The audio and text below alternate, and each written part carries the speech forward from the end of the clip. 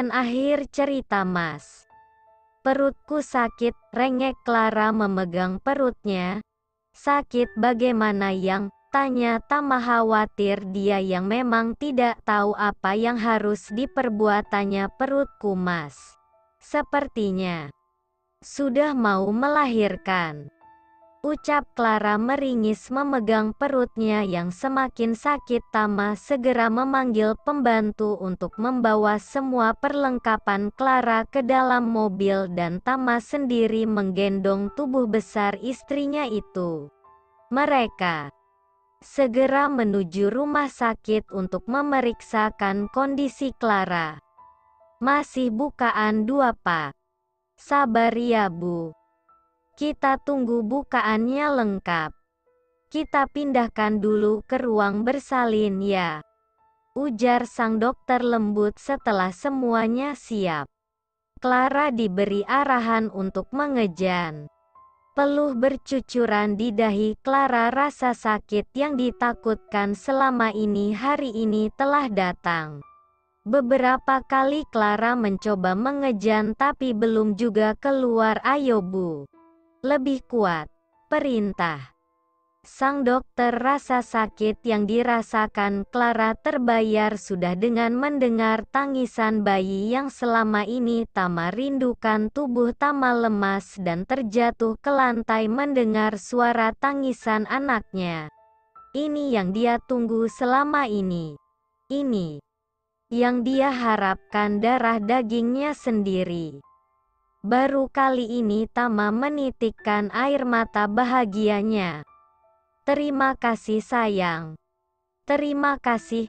Bertubi-tubi ciuman dilayangkan Tama di kening Clara karena Clara yang sudah berjuang melahirkan anaknya.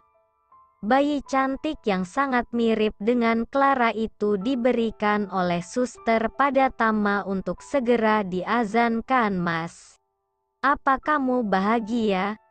Tanya Clara setelah Tama selesai mengazani anak. Mereka sangat, sangat bahagia sayang. Terima kasih untuk perjuanganmu. Aku janji takkan pernah mengecewakan dirimu dan anak kita.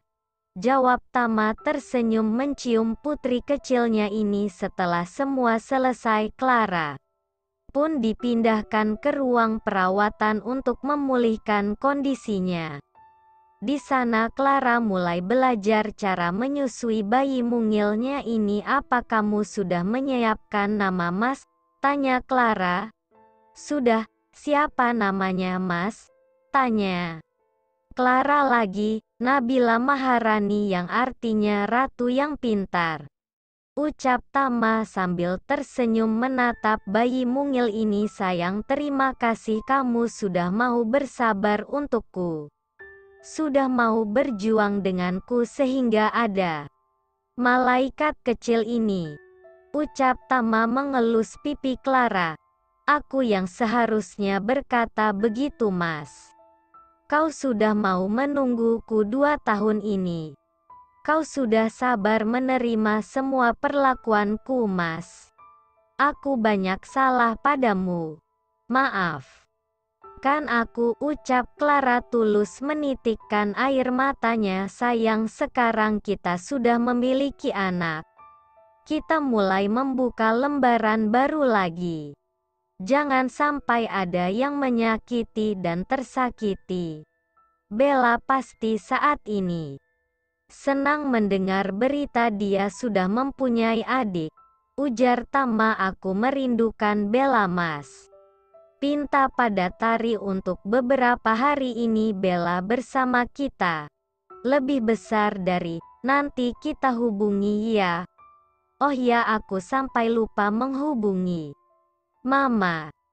Dia memintaku untuk menghubunginya saat kamu melahirkan, Tama segera merogoh kantongnya mencari ponsel untuk menghubungi keluarganya. Clara tak menyangka menikah dengan Tama membuatnya melahirkan bayi perempuan. Cantik.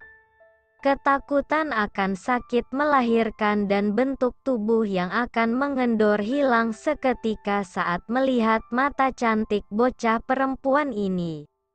Tama dan Clara tak henti-hentinya berucap syukur karena penantian panjang mereka membuatkan hasil. Tama yang sudah menjalani dua kali kegagalan membuatnya lebih mengalah pada Clara apalagi saat ini yang terpenting adalah kebahagiaan Nabila.